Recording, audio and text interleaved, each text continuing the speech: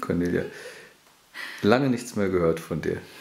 Ja, lange nichts mehr gehört, aber ich war nicht untätig. Also ich bin natürlich nach wie vor mit Harfe quer durch Deutschland unterwegs, aber ich war jetzt auch ganz intensiv im Studio und arbeite an meinen eigenen Sachen und das dauert wirklich länger, als man denkt. Es ist jetzt schon ein Jahr her. Es ist über ein Jahr her, dass ich bei DSDS war. Ähm, seitdem ist wirklich viel passiert. Ich habe mittlerweile auch äh, Peter Maffei enger kennengelernt und die letzten drei Monate habe ich mit ihm ähm, auch zusammengearbeitet und da ist auch ein Song entstanden. Der heißt? Der Song heißt Unbekanntes Land und der ist auch schon raus. Auf dem neuen Album Tattoo nennt sich das, ähm, beziehungsweise das Album gab es schon und jetzt gibt es eben fünf Songs, die am Platz sind. Und da gibt es Peter Maffei und mich und Gitarre, seine Stimme und meine Harfe. Und du bist auch zu sehen ein bisschen im Video, oder? Es gibt ein Video, das glaube ich ist auf Tape TV veröffentlicht. Bei Bild.de wurde auch schon was drüber geschrieben. Auf dem Video sieht man meine Hände und ein wenig umrissen sieht man mich auch. Ähm, also man wird mich aber in Kürze live sehen. Insofern werdet ihr bald erkennen, dass ich es auch wirklich bin. Live dann wo? Live in der ARD am 15. Oktober. Da werde ich mit Peter Maffay auf der Bühne stehen und da performen wir genau diesen Song, den wir gemeinsam aufgenommen haben. Was ist das für eine Sendung? Das ist eine Sendung, die nennt sich Tribute to Bambi, ist eine Charity-Veranstaltung, eine Vorveranstaltung zur Bambi-Verleihung. Und da geht es um Kinder. Insofern werden da Kinder unterstützt, die Hilfe brauchen und das finde ich auch ganz toll. Sprich eine Sendung, die am Abend läuft eine Sendung, die am Abend läuft, die um 21.45 Uhr, glaube ich, beginnt und um 22.45 Uhr endet. Das heißt, irgendwann dazwischen sieht man mich. Hoffe ich. Also alles gleich in, den Terminkalender reinschreiben. genau.